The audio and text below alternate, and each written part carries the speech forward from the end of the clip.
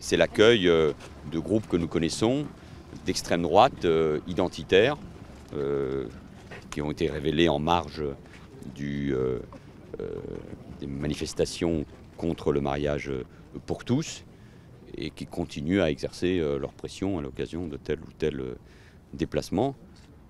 ça ne doit émouvoir personne, ce sont des groupes violents qui contestent le vote du Parlement, la démocratie, avec des mots que nous avons entendus qui sont au cœur même de ce qu'est euh, l'extrême droite euh, et ces groupes euh, identitaires. Voilà. Mais ça ne doit pas empêcher de dormir et, de poursuivre sa, mission.